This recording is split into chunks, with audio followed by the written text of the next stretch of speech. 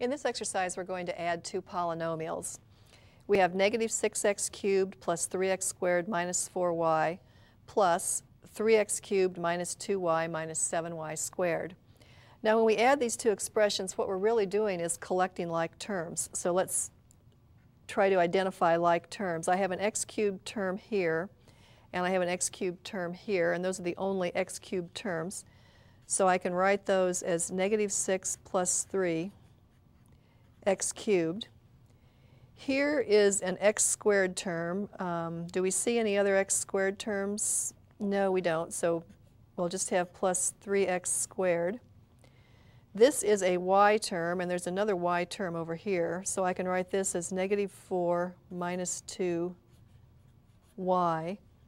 Now we've dealt with all of the terms in this expression, and we've dealt with this one and this one, but we have a, a y squared term that we haven't taken care of yet, and it, it's just a term that doesn't have any other like term in the expression, so we'll just write minus 7y squared there.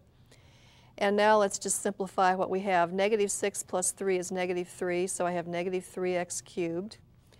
Then I have the plus 3x squared. Negative 4 minus 2 is negative 6, so I'm going to have negative 6 times y and then negative 7 y squared for the sum that we were looking for.